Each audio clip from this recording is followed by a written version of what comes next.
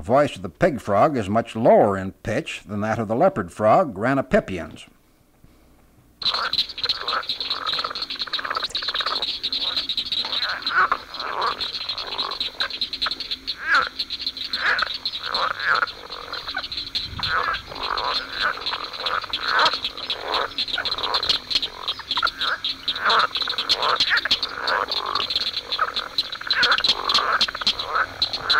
Huh?